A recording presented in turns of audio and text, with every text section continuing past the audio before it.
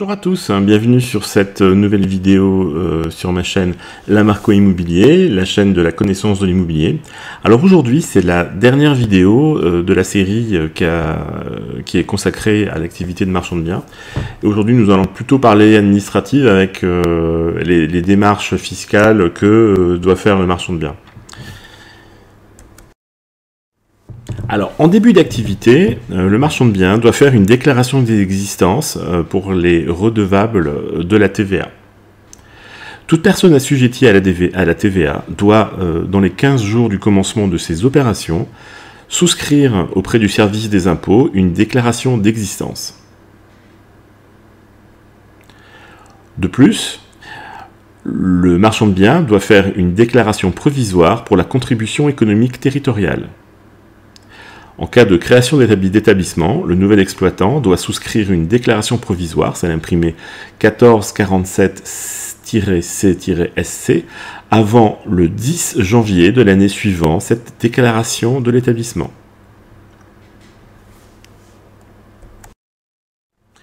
En cours d'activité, il y a quand même un certain nombre de déclarations à faire. Alors on va les passer euh, en, euh, en revue. Alors, dans un premier temps, vous allez faire la déclaration annuelle des résultats. Euh, pour la société LUS, il s'agit de l'imprimé numéro 2065. Lorsque euh, vous exercez à titre individuel euh, ou en société LIR, vous utiliserez l'imprimé numéro 2033. Vous allez aussi déclarer votre chiffre d'affaires. C'est une déclaration mensuelle de TVA indiquant le montant total des opérations réalisées au cours du mois précédent. Vous allez aussi déclarer annuellement les salaires versés. Le marchand de biens qui emploie des salariés est tenu, avant le 1er février de chaque année, de produire un état indiquant pour chaque salarié les rémunérations payées pendant l'année précédente. Il y a aussi la déclaration annuelle des honoraires et commissions donc la déclaration annuelle des honoraires et commissions. Le marchand de biens qui, à l'occasion de l'exercice de sa profession, verse à des tiers des commissions, honoraires et autres rémunérations doivent déclarer ces sommes à l'administration avant le 1er février de chaque année. Vous avez aussi la déclaration des paiements et opérations sur valeur mobilière. Le marchand de biens, comme tout commerçant est tenu de déclarer au Trésor les paiements réalisés au titre de diverses catégories de revenus immobiliers, notamment dividendes des actions, intérêts des obligations, revenus de créances, dépôts, cautionnement et comptes courants. Cette déclaration doit être faite au plus tard le 15 février de l'année suivant le paiement. Elle ne concerne pas les intérêts servis aux banques.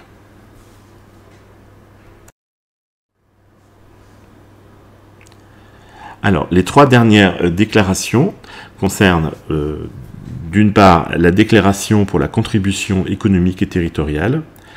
Le marchand de biens est soumis à la contribution économique territoriale qui se décompose en une cotisation foncière des entreprises et une cotisation sur la valeur ajoutée des entreprises. Tous les redevables de la CFE doivent souscrire une déclaration annuelle contenant les éléments servant à l'établissement de la cotisation. Ensuite, vous avez la déclaration assise sur les salaires. Le marchand de biens est redevable de la taxe d'apprentissage sur les salaires qu'il verse.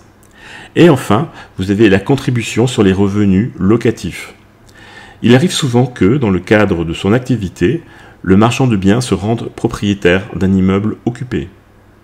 Dans ce cas, sauf pour les locations qui donnent lieu au paiement de la TVA, le marchand de biens est tenu d'acquitter une contribution sur les revenus locatifs ou une taxe de 2,5% qui est assise sur les recettes nettes perçues au titre des locations, c'est-à-dire des revenus des locations augmentés du montant des dépenses incombant normalement au bailleur et mises par convention à la charge du preneur et diminuées du montant des dépenses rapportées par le bailleur pour le compte du preneur.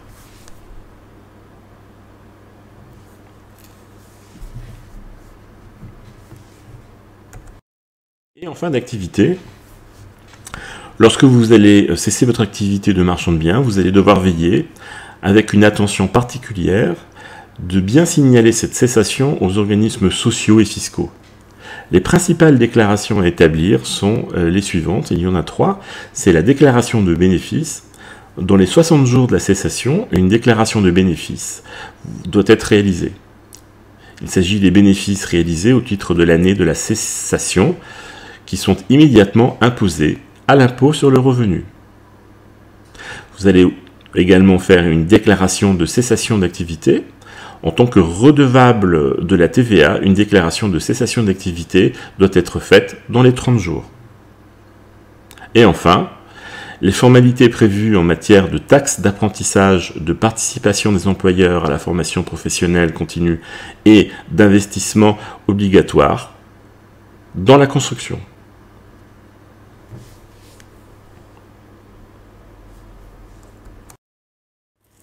Alors comme vous avez euh, pu le, voir, hein, donc euh, l'activité de, marchand de biens est une activité de commerçant et à ce titre, euh, le marchand de biens a des obligations liées à son statut de commerçant. Donc il doit, comme tout commerçant, payer aux caisses d'allocation familiale des cotisations et ainsi qu'à l'URSSAF.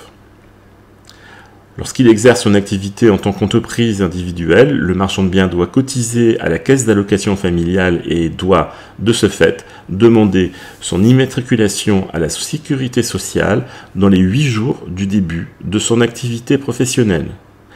Il doit également régler à l'URSSAF la contribution sociale généralisée et la contribution au remboursement de la dette sociale. Il s'agit donc de la CSG et de la CRDS. Il y a aussi des cotisations d'assurance maladie et maternité. Il doit cotiser à une caisse mutuelle régionale d'assurance maladie maternité. Pour ce faire, il doit demander son immatriculation dans les 30 jours suivant son début d'activité. Enfin, il doit également cotiser pour l'assurance vieillesse. À, ce titre, il doit être inscrit à une caisse d'assurance vieillesse il est tenu de déclarer dans les trois mois qui suivent le début de son activité.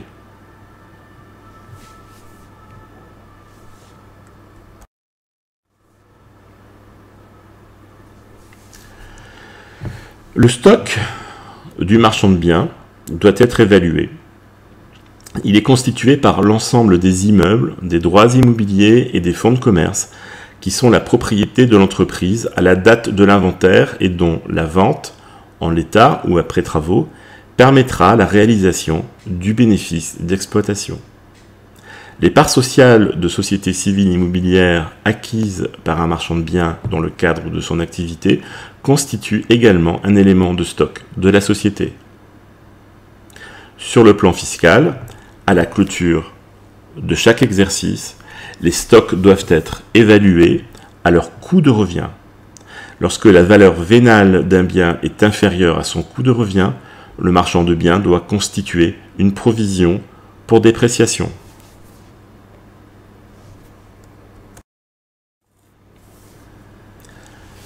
Alors maintenant, on va voir comment déterminer le coût de revient. Les stocks doivent être enregistrés pour leur coût d'acquisition.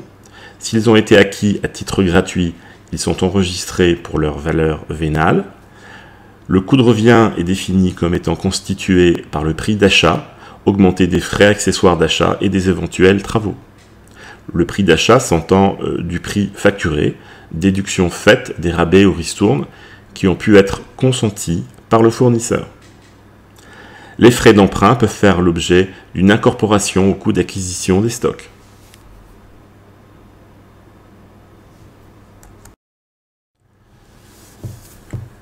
Alors, pour la TVA, le coût de revient des éléments figurant en stock doit être déterminé hors TVA récupérable.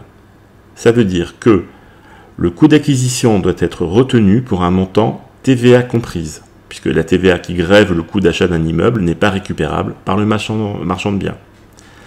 Les travaux doivent être retenus pour leur montant hors taxe, puisque cette taxe peut faire l'objet d'une déduction.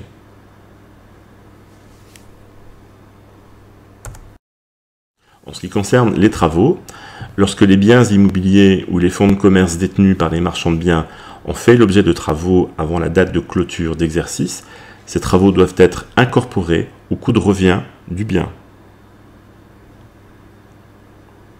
Lorsqu'il s'agit de travaux réalisés dans les parties communes de l'immeuble, seule la part de ces travaux correspondant au lot restant en stock peut être incorporée dans le coût de revient. Lorsqu'il s'agit de travaux réalisés dans les parties privatives de l'immeuble, c'est le montant total de ces travaux qui doit être pris en compte. Les dépenses supportées pour le ravalement, de l'immeuble constituent un coût de revient et non des charges immédiatement déductibles.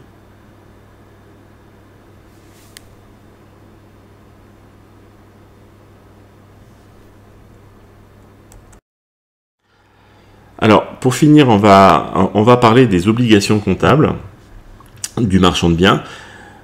Les euh, marchands de biens sont des commerçants. Il faut qu'ils exercent cette activité de manière habituelle et en cette qualité, ils doivent respecter les dispositions comptables prévues par le Code du commerce et par le plan comptable général. Comme tout commerçant, le marchand de biens doit donc procéder à l'enregistrement comptable des mouvements affectant son patrimoine et son entreprise. le patrimoine de son entreprise. Euh, ces mouvements doivent être enregistrés chronologiquement. Les immeubles destinés à être vendus doivent être comptabilisés comme des stocks et non comme des immobilisations. Fiscalement, les immeubles détenus par un marchand de biens constituent un stock immobilier. Cependant, lorsque le marchand de biens renonce à son projet de revente et qu'il destine l'immeuble à un usage administratif ou locatif durable, l'immeuble initialement stocké doit être reclassé dans les comptes d'immobilisation. Et là, vous pourrez procéder aux amortissements. À la clôture de l'exercice, le marchand de biens doit établir des comptes annuels au vu des enregistrements comptables et de l'inventaire. Ces comptes annuels comprennent le bilan, le compte de résultat et une annexe qui sert à compléter et commenter l'information donnée par le bilan, bilan et le compte de résultat.